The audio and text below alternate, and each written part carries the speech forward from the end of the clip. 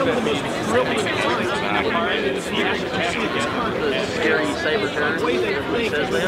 I consider myself a hacker. hacking isn't necessarily a bad term. Being a hacker does not say what side you're on. Being a hacker means you know how things actually work and can manipulate the way things actually work for good or for harm.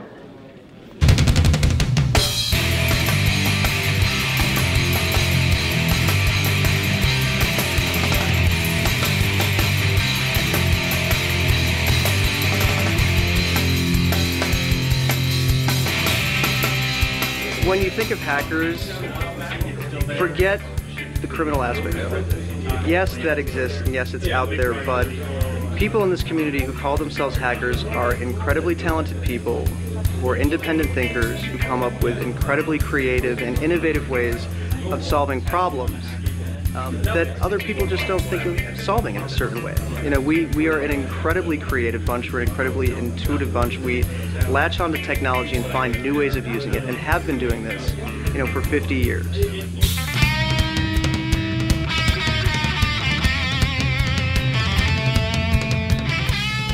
A hacker is someone who wants to know how things work, take them apart, look at the components, see if there's a way to make them better, and put it back together and share that information openly without motivation of profit or fame or anything like that. To me, hacking is just trying to do things in different ways, making stuff do things it wasn't meant to do. Well, I mean, also if you look back before there was technology, you know, if there was basic chemistry and anything like that, like alchemists, you know, at one point, that was pretty much considered a hacker.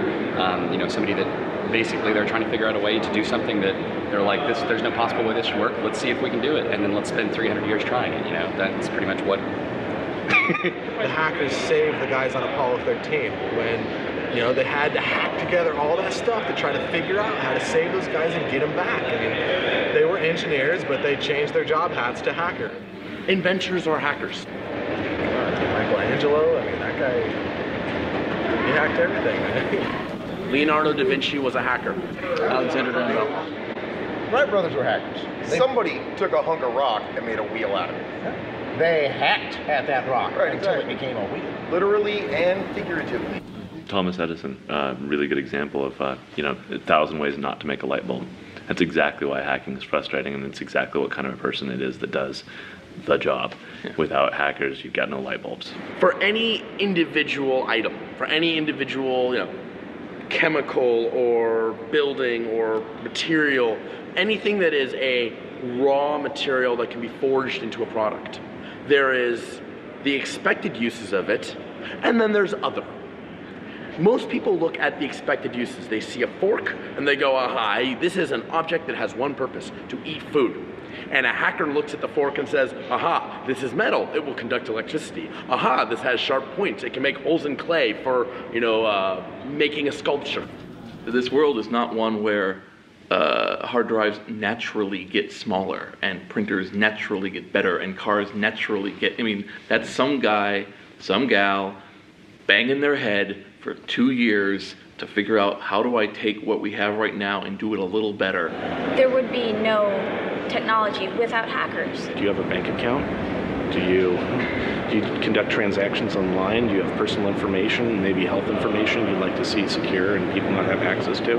You know, every time you see your antivirus window pop up or you see that little key icon in the bottom of your browser, that's because a hacker made that happen for you. Some hacker somewhere wrote software that's keeping viruses off your computer, that's letting you buy things from Amazon, letting you pay your bills, that's letting you use the internet without having it completely overrun by the very, very small percentage of people that use hacker tools to do bad things. We are very academic, even those of us who are not scholarly, in the sense that we believe strongly in publicly sharing what we find. We are very teacher oriented in, in that we want people to actually dive in, get their hands on something, and become a part, not just be on the sideline.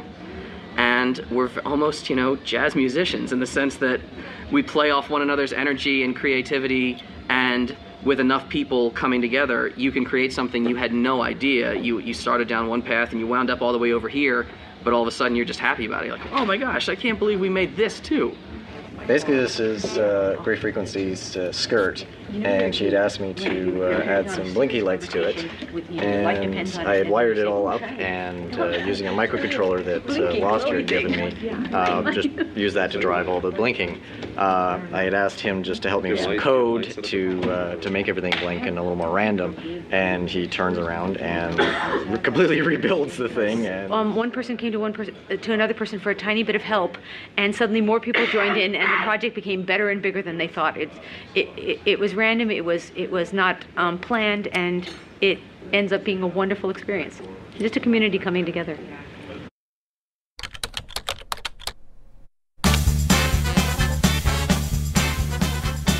Would you say that the community is very diverse?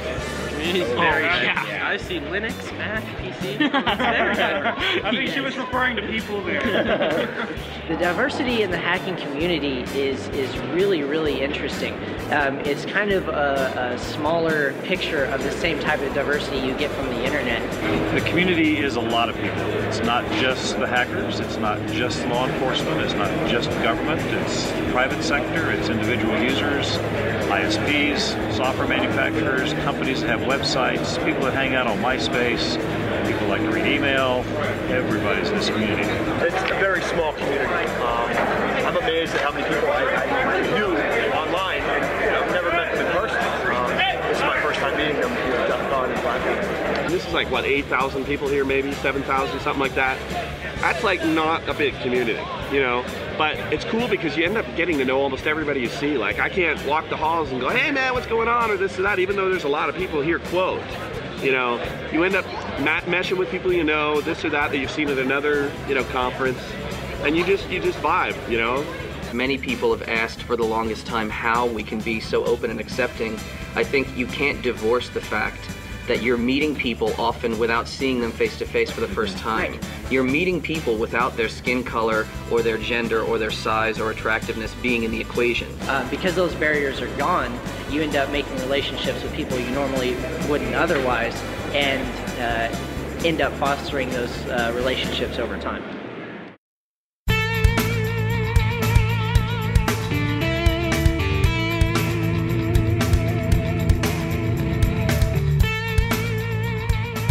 Made it cool?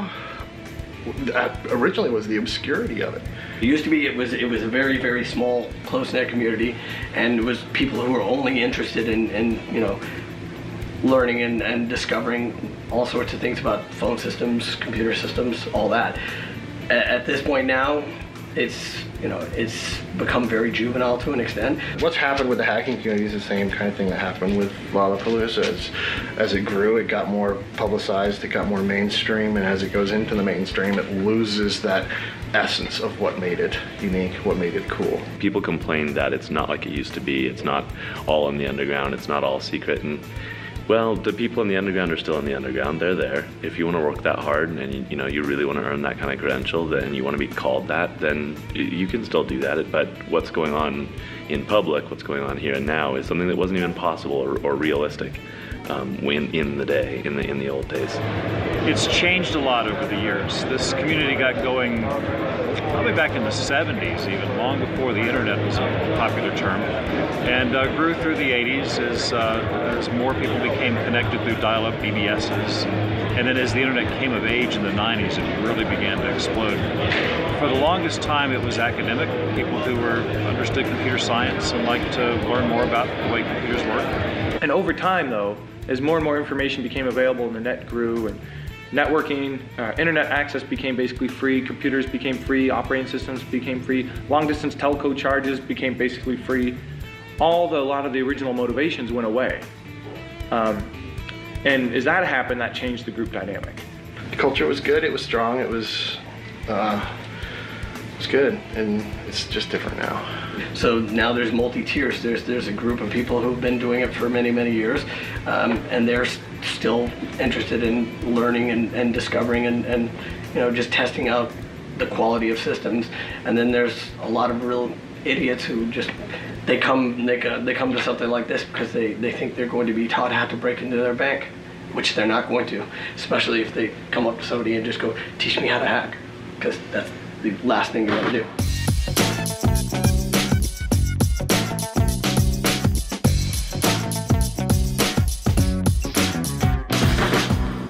I think now, you know, a hacker is somebody that is uh, talented and talented with technology and passionate about it. Not just talented because they went to school and, and, learned something, but talented because they, you know, when they go to bed at night, you know, they think about technology, or when they you know, when they wake up in the morning, they think about technology. Or, you know, technology makes them happy. And everything I do, eat, breathe. My wife swears I talk in numbers when I'm sleeping. Do I feel that's a lifestyle? Absolutely. Sure, it's a lifestyle. We live that, we breathe it. Um, we'll die going that way. We'll be 80 trying to tell these youngins, you don't even know what a 2600 hertz is.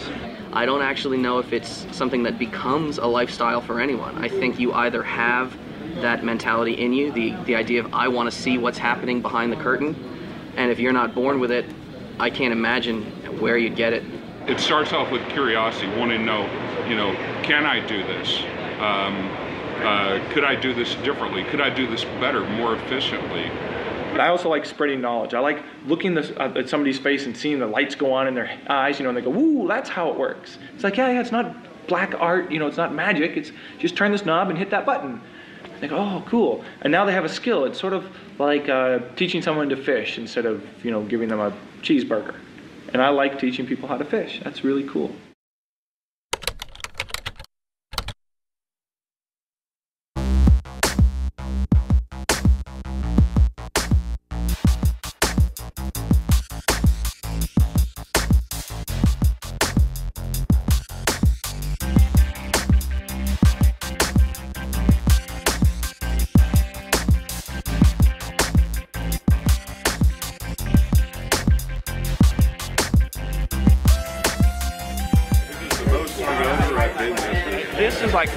A chance to just chill the hell out, drink your beer, get really buzzed, you know, whatever you do, go to parties, hang out with these people, give hugs, love each other, you know what I mean, and appreciate what you all we're all doing for the community and the industry in itself. And I think that's really what it's about. Tell you how I describe it to my mom I uh, and my dad. I packed them both up and brought them to CON. It's true, I spooned with his mom and dad. He did spoon with my mother. and they come here and they feel like they're getting the real deal. They're meeting other people like themselves again, and it's sort of a safe haven. If you look around at the people that you see at this con, they, the the way they think, the way their minds work, is absolutely brilliant. I mean, in, in prodigies, the majority of them. I started going to DEF CON in 2002 and really just fell in love with a group of people that I got to interact there. It's, uh, I think, the most challenging group of individuals that I get to hang out with at any point in the year. And there's just something about being around a group of people who question absolutely everything that's always really inspiring to me. Somebody told me the first year I was here that it was going downhill, and the only reason to come anymore was to see all the people they knew. And I thought, well, that sounds uphill to me. We ended up getting about 110 people. We stayed up all night. It was, you know, we had only one room, about little twice the size of this room, and that was it. And it just grew and grew and grew from there. He's the HackerCon that was able to sustain this many people in Las Vegas and keep growing and sustain itself. And that's hmm. a talent. The fact that he branched into these other things to help fund it, that's his talent. Every year, you're constantly trying to fix the stuff that happened the previous year. I can have more speakers. I can have contests. You kind of get addicted.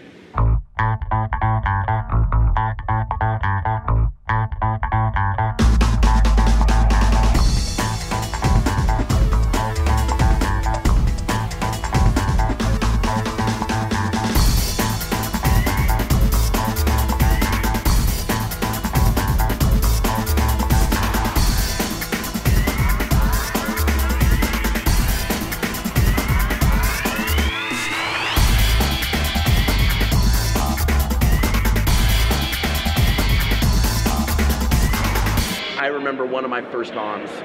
I sit down at a random table, and there's some guy there. I go, "Oh, hi, I'm Dan." He goes, "Oh, hi, Dan. So what do you do?" And I, you know, just tell him my actual, you know, what my talk's about, and the guy gets it, and he totally understands. And I'm like, where else can I go where what I'm doing is totally understood the first time, and the person's as excited as I am, and that's just cool. I always, after conventions, I always get so activated and so full of ideas. Like, oh yeah, I can go out and I can do this new thing that I learned. I come home on a high that lasts me for, and I don't drink. I, um, and but but I I am emotionally healed, psychologically healed, and it can get me through my real life for a while. Yeah, just that total sense of activation and sharing energies with different people. Yeah. Intellectual stimulation, as well as various other stimulation. It's non-stimulant and porn and porn. It's just so intellectually stimulating, as, as Mouse said. You come home and for like a month you're on this like intellectual high, and there is nothing better than that. And this is like by far the coolest thing. I go and I talk at DEF CON, I get 50 or 60 emails, wild-eyed kids, they're like brimming with ideas, and you know what? They give me great ideas. It, that's why this is so great. It's like we, we all come here, we get it, and we get it, and and we can and we're passionate. communicate. Yeah, we love it. Yeah. I've been coming to this convention for like 10 years now, and some of these people, you know, I only get to see once a year. They're from all over the world, and this is this is the one place I can see everybody I care about and keep up on everything that's happening, all the new developments. I'm a, always been outside the norm, so for me, this is my normal environment. I, I'm home here and I'm more comfortable among these people that, and until I found the cons, I didn't realize that I hadn't that I didn't have a family. When you see all these people that have the same passion and mindset as, as you, you know, you finally feel like you belong. It's like coming home. Right, exactly. These are stepper motors, and they control the x and the y axis of this up and down, back and forth. And I have a program I built in Java that will take images from that webcam up there, and then it finds all the white spots because they're white spots on black targets. And then uh, we'll translate that into angles that this can move, and then move and fire accordingly. One of the key traits you'll find among a lot of these people here at this conference is that they like problems. They like problem solving. Just take something which you're given a bunch of tools, you don't quite know how they all work, and you figure it out. They're more interested in how the computer actually, or the television, or the telephone, or or the the the Xbox or the Wii or whatever. They're more interested in how those things work, and they're they're curious enough to to not just accept what is given to them.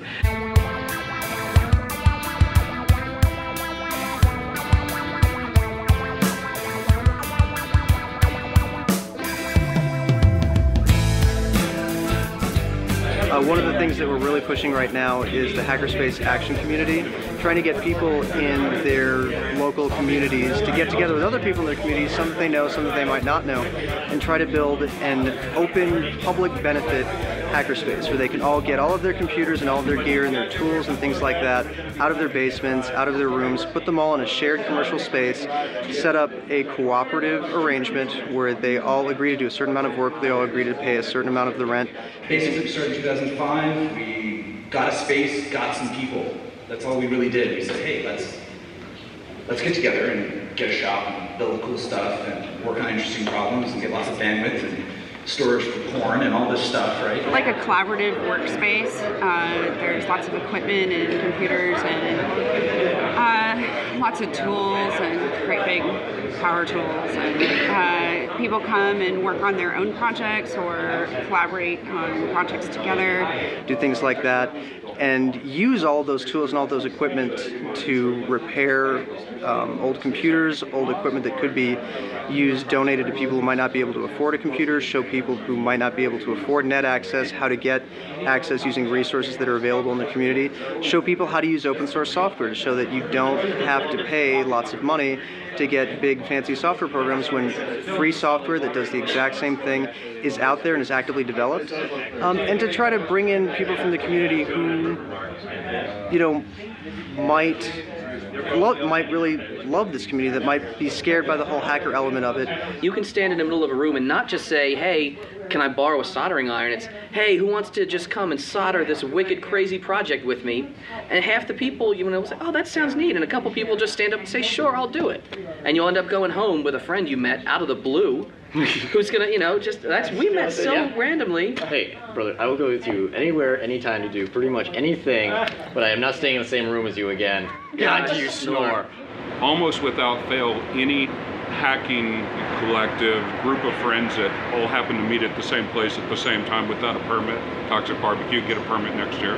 They freely accept anybody because it's about sharing information. It's not about hiding shit from people. And I don't want people to become so complacent that they just are like mindless consumers.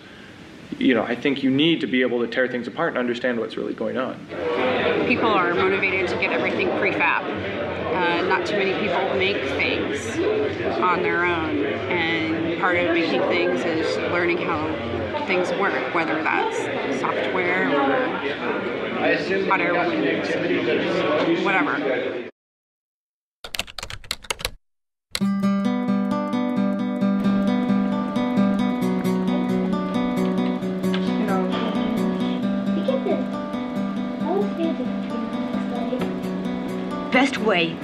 to, to get America to understand this is to teach our children technology, to give them things that they can take apart and break and learn and say, what happens if I poke the A in B? Um, what happens if I if I roll this over, if I build it this way? Just just give our kids a chance to learn how to do things themselves. Yes. And don't punish inquisitiveness. Exactly. And I think parents actually, if their kids want to be a hacker, that they should just encourage them to experiment and play and definitely take things apart, see how they work, make them into new things. You've got to send them to, I don't know, science camp and, you know, encourage them to break things. I- Keep promoting it, supporting it. Let, let them go to the hacking club at school. You know, let them do those things and get behind them because it really will pay off in the future.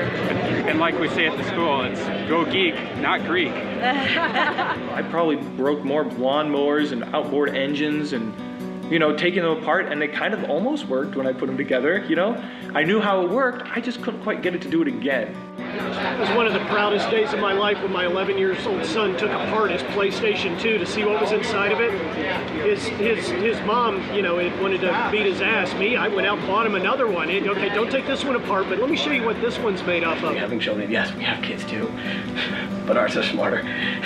So my children are like total hackers, and, and they're only five and four. But like they, they, my son has broken my BlackBerry freaking password twice, and I don't know how he does it. But it's like he's intuitive that way, you know. Well, hacking starts as a kid. You're mm. given Lincoln logs, you're given Legos, you're given all these things to create and take apart and put together. But at a certain point, it's replaced. You know, Legos get to a point where your parents tell you you're too old for these, mm-hmm. even though you're girls get- especially. Oh yeah. we discourage our girls from exploring. They're, the toys you give them are pink vacuum cleaners, dolls, and things to, to make them attractive to boyfriends at some day. whatever reason, there aren't that many girls that are into science or technology or whatever the case may be. And also, I think that uh, popular culture is less able to accept the stereotype of socially inept geek applied to a woman. You know, it's the same problem, I think. Why aren't there more women in engineering or, uh, you know, in medicine? Women are also underrepresented a lot. Some of the hard sciences. You know, the statistics in, in education are that a lot of women do enter, or are more women are entering this field, but they tend to drop out as they progress. Why do they drop out? Well, maybe it's not it's not conducive to the society that they were brought up in. They don't they don't think it that way because they were brought up to not think in that way. Maybe it's because it's an unwelcome environment, but it is what it is. You know, nobody developed it to be this way. It just is. And computer security is not only not really a recognized career path yet, you know, for women. Let me ask you this: Why should there be more women in this industry? Porn. I mean, it's porn. Do you think that there is an uneven balance? Do you think that it's not supposed to be like this? Because I get that from a lot of people when they talk about women in this industry, that there should be more women in this industry. And why? Should there be, or are there more women mechanics? The females in this industry that I've worked with have had some of the most unique and interesting perspectives of anyone that I've actually been with. It's the point where it's like, you know what? There are incompetent people of both genders. And uh, if you actually find someone competent, gender's the last thing on your mind. The good thing though is, as a woman, everybody will talk to you. They'll tell you whatever you want to know. They'll be happy to buy you drinks. They're just excited that like, hey, women are interested in this stuff. Cool. You know, it's not just a total guy geeky thing. Because, you know, a lot of girls will kind of stereotype that, oh God, it's like he's a nerd, he's a geek, he's like doing this. But then you meet people like some girl that'll be like doing C++, and you're like, what a relief. They're, they're pretty cool guys for the most part, and they're really generally happy to have girls around. Just because a lot of people see me as oh, she's cute and she's uh, at this conference and yeah, I'm gonna go hit on her. She must be, uh, you know, one of the fun girls. But I mean, every once in a while I find someone cool who I can actually talk to and doesn't seem like they're gonna try to get in my pants. There's kind of like there's there's two camps. Either like they run away or they like they completely are totally forward. See, I haven't hit on you, have I? I don't know, your post last night. I came here just to see you. Well, you called me out. Of course, you get a couple idiots who automatically see a, a cute girl and think that she must be a scene whore, but they normally get put in their place real fast by a couple of goons who are, you know, willing to say, ma'am, what I can do to you ain't half of what that girl's gonna do if she has to get a hold of you because you won't shut up." I don't know a whole lot of girls that come to these types of things, so I haven't noticed if they've been treated differently or not. There are no lines at the bathrooms. Um, I think I've been going to this for like six years and it's changed over the years. It used to be people just assume I was a scene whore or something, and then as years went on, I got to know more people, and that faded less. And there were a couple of years that were pretty rough. We're the only girls that you saw. There was uh, lots of talk about scene horrors, and and there there were some ugly years. I found that as long as you're not too easily offended and fairly easygoing, um, you, you can fit right in. You know, you just kind of have to develop a sense of humor and a fairly thick skin, and you know, be able to dish it out as well as you can take it. And Well, honestly, I don't. I, I think that you've got to be really thick-skinned to hang out with this this crowd, especially us, especially this crowd. We stab. Um, a lot of we play stab tag, we break arms, we punch Canadians. This is what makes us us. They're bad, they're evil, they can whistle launch codes, and they will blow up your computer.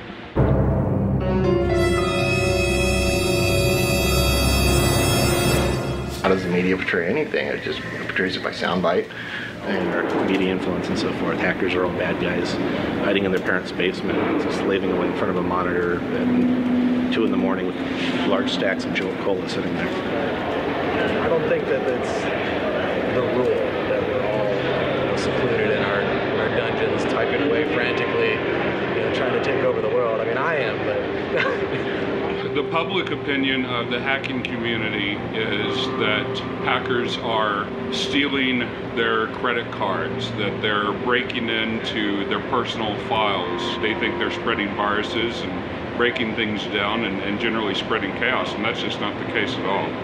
Yeah, Hollywood portrays hackers in a bad light most of the time, and I think that's wrong because most of the hackers that I know are, are damn good people who are just trying to break things to make them work better. People started using computers to commit crimes, and instead of just calling them a computer criminal, we decided, to, uh, or the media decided, to appropriate the name hacker and apply it.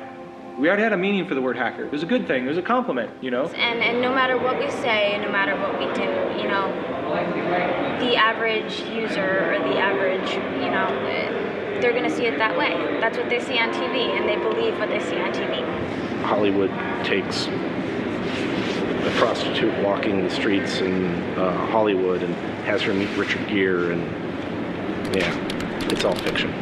Some movies are actually fairly accurate at hacking. Some of them are not. I haven't seen Angelina Jolie here yet. The movie Sneakers, where they're showing the, the line trace, you know, hopping from continent to continent, from satellite to satellite. I thought that was the most hilarious thing. I mean, Die Hard was a little bit of a stretch, you know, but Die Hard 4 or whatever. So I went and saw it, and I said, "Yeah, that that that was that was really a light telling of what was possible." I was I was kind of disappointed that they really downplayed what could be done the way they did. Yeah, there's a lot of credibility there. They did a pretty good job of bringing to light uh, some vulnerabilities that are not well understood, but could cause problems should somebody figure out how exactly to break into it. I think the best thing that happened uh, in uh, in that movie, as far as uh, making people aware of things, was the uh, the social hack that uh, the the kid did with calling OnStar and said his dad was dying and, and please start the car. So that's that's that's the first the first time I've ever seen a really well demonstrated uh, example of social engineering. Hackers the movie, it kind of borders on both. Um, there's some accuracy to that. A lot of it is, you know, computer generated graphics that makes hacking look like flying through a, you know, digital landscape. Uh, it's definitely not like that. But I think the one thing that stood out from that movie, and I'm going to get crucified for saying this, and everybody gives me crap, but I actually I think they got one thing right in that movie.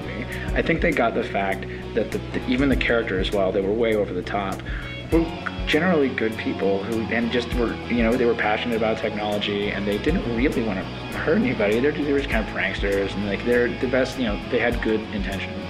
And uh, I think that's what that that particular aspect of a very over-the-top dramatic interpretation was pretty right on. I mean, like I think almost everybody in this build, I think almost everybody at DEF CON has great, good intentions. Like I don't want to break anybody's computers. I'm not 12 years old anymore. DEF CON, this conference, and all these gatherings, the films, they're the petri dish, and the people have to live in them. There's really not a lot of connection between the environment that hackers work in and what the people themselves are doing or who they are. And uh, it's it's hard to see that difference when all you get is this sort of interpreted medium of storytelling. Because storytelling is fundamentally good for teaching lessons, but it's not really very good for understanding the people. It never really was, and uh, nobody does a character study in hackers because they're kind of boring. Oh! Come on, put her in. We got a camera on us. We gotta do this sometime. It's been an old DEF CON tradition um, to have a, a, dunk tank with um, water pouring on the great and the good of hackers, um, and um, and the guys very nicely donate the money to the Electronic Frontier Foundation. The Electronic Frontier Foundation started about 16 years ago now, uh, at the very early beginnings of um, when the net was turning up for the first time, and really law enforcement and judges really didn't know what to do with a lot of the um, the things that were happening on there. Um, the EFF is basically the uh, online equivalent of the ACLU. When you're some guy that maybe works at Microsoft or some guy that sits in a cubicle all day, but you're also on the outside at home breaking the boundaries and changing things, you don't have much protection from if the government says, no, you can't do that, or a corporation says, no, you can't do that, we're going to send you, we're going to sue you.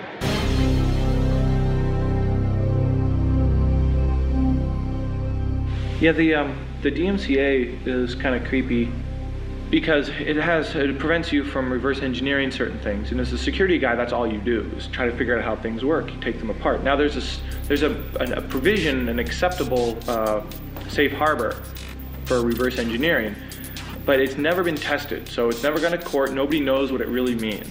So 10 different people read it and have 10 different opinions. And since it's never been adjudicated, nobody really knows. So companies take a very narrow view if it's their product and threaten to sue you. Researchers take a very broad view and research stuff. And until we kind of get, you know, a bright line of the law, it's, it's kind of the uncertainty uh, scares people. The people on the hill that actually make the laws, you know, they're like five generations past me, and they don't understand technology. The people, the people making the laws do not understand the technology behind it. Yeah, the people here that understand the technology, don't, they're not law people. The people that understand the law don't know the technology. There's always going to be a, a disconnect there, and I, I, I, think some of the maybe the unfair prosecution that's occurred might be part of what contributes to this ooh evil image out there.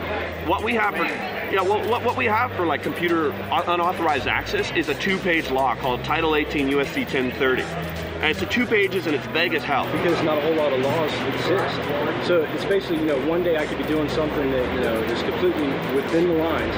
And because one company gets pissed off, all of a sudden it becomes illegal. When you push the envelope in any field, and that's what we do, they get uncomfortable and you're changing laws, okay? They essentially help open the eyes of the people who are unaware of their vulnerability. as They find exploits, they write tools to break something, and then they go to the creators and tell them, look, here's what I did, here's how, how to fix it. And these guys come in and say, look, you know, they say the emperor has no clothes. And, um, and sometimes they get shut down for that. A good example of this is electronic voting. Um, a bunch of people took a look at electronic voting systems and said, you know, these are full of flaws. These are worse than, than having, you know, loose chads, right? These could be not only uh, broken into by somebody trying to win an election, but they could be broken into remotely. They could be controlled with absolutely no trace. And the uh, companies that are selling these e-voting machines are making absolutely no effort to fix that. That's where the hacker community comes in. They're they're addressing those. They're addressing where you know the industry as well as you know your government is falling short on protecting you in you know basically a digital age. One of the best things you can do to understand something is learn how it works and learn how to make it do things that it's not supposed to do. The first question that came to me, my mind, and for some of my friends, is aren't you going to create more bad guys by teaching hacking in college? And my preconceived notion, which has been borne out by experience, is that as far as I can tell, the criminals do not go to college to learn how to do this. The criminals already know how to do this. You're sharing the information to the uninformed consumer so that they have the, the, the will of the mighty dollar to force the manufacturers who are profiting off of those substandard products to improve them and actually make you safe instead of just making you feel safe. Uh, we spend a lot of time talking about where the line is and uh, looking at the line and saying, there's the line. We want to be on one side of it, not necessarily the other. So we kind of bring some of that more holistic view of hacking is okay, but hacking for the wrong causes is not. I think people that come to this conference have probably no clue how afraid academics are. They're so afraid that you are these evil supervillains going to destroy the world and they're going to corrupt the morals of our students. They do not understand that this is something that is exciting and, and happy, and these people are enjoying their life. They think of them as some twisted freaks that are trapped by some hideous emotional deformity to be unable to socialize. And so when you can look at somebody that has, you know, a hacker black t-shirt on, sunglasses, and, you know, a bunch of piercings and, you know, blue hair and say, that's, that's, that's crazy, that's not normal, that's, you know, that's, that must be a bad guy. Uh, I haven't committed a crime in years, but I have freaky hair and black clothes. I do also have a da daughter and a stable job and career and education. Pay your taxes. You probably drive the speed limit when you can. Most you know. of the time, yeah. Yeah. These, these are normal people. They might dress differently, they might look differently, they might drop an F-bomb a little more often than some other people or whatever, but they hang out together, they drink beer together, they're interested in things other than computers. They are not just, you know, geeks all the time. I want people to understand that geeks, hackers, whatever, they're everyday people. They're no different than anyone else. There's no magic. There's no. He hung up. Bastard, bastard. It's more like white blood cells. They're a little different than the rest of the blood, but they kind of a necessary function. It's the immune system for society. Uh, any group that's passionate about something, I think, would be analogous. It's just in our case, it just happens to be computers. They're sort of like these like furry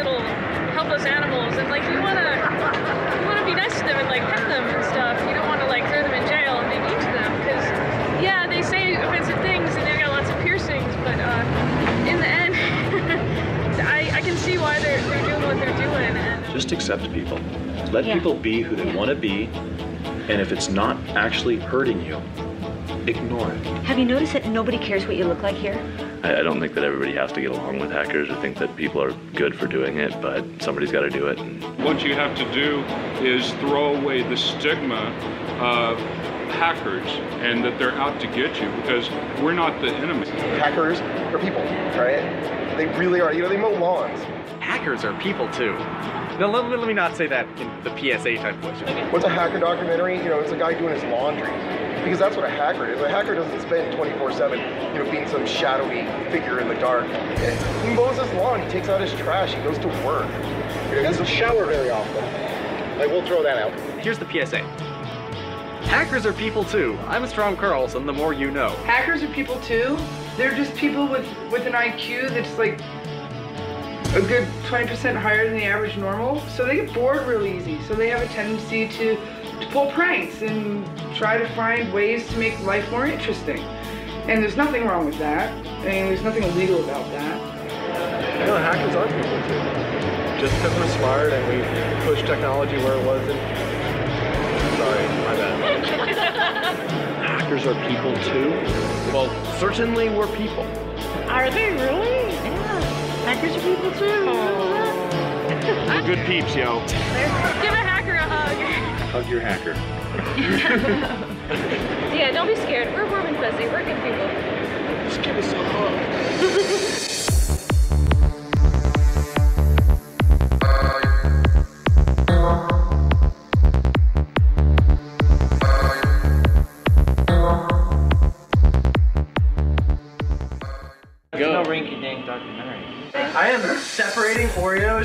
cream and non-cream entities so that I can gain like 20 fucking points in the scavenger hunt. Go ahead, sniff your packets. Because apparently they crave just the cream. All right, I need an out loud countdown. Here we go.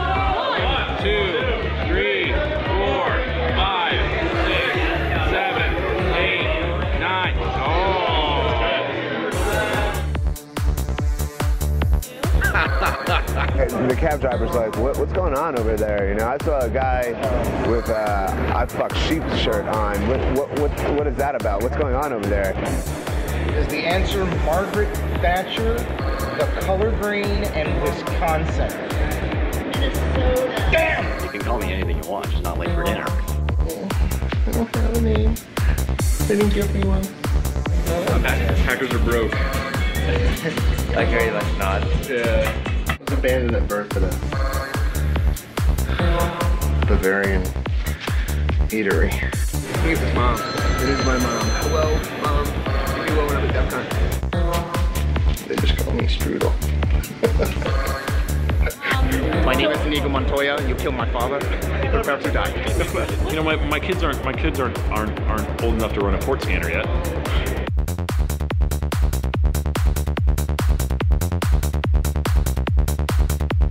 I am a bad hacker. Hey, oh, does this have a John and Yoko Ono feel? I thought you like in bed. Hey, you know, I didn't even think about that. It's our love in. Yeah. yeah, little hacker look. That's not Higher into the left, higher into the left. Hell, I'm a, I'm a girl. I like to shop. I like shoes. I like, you know. Joke about religion.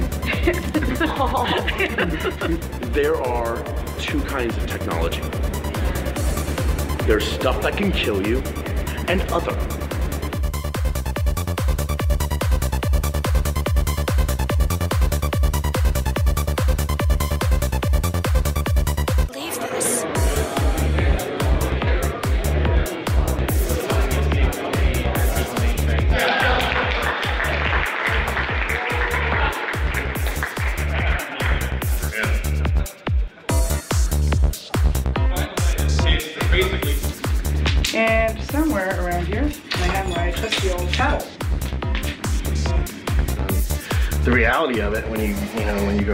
Convention like this, it's just a bunch of sweaty nerds.